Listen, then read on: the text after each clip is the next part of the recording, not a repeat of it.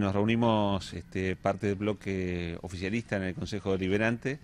eh, con David Esleret, con Santiago Montorófano eh, y, estuvimos este, en una reunión en la que nos convocó el intendente para hacer un balance de estos seis meses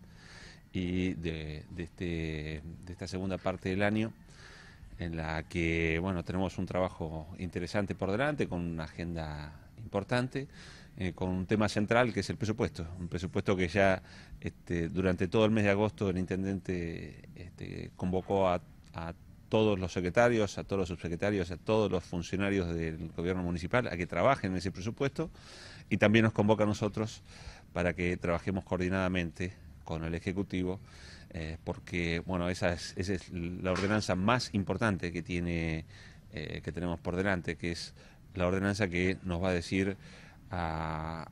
que le va a decir al municipio, que le va a decir a cada funcionario qué es lo que tiene que hacer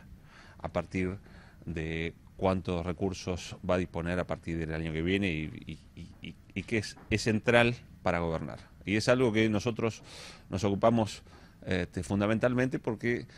eh, le prestamos muchísima atención al presupuesto. ¿eh? A diferencia de lo que pasa con otros poderes del Estado, que por el presupuesto pasa a segundo nivel o tercer nivel, porque simplemente es, un elemento decorativo, para nosotros es algo central.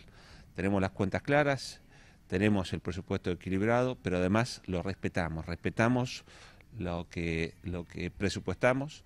obviamente con, con eh, el mayor grado de previsibilidad posible, pero para nosotros es un tema central.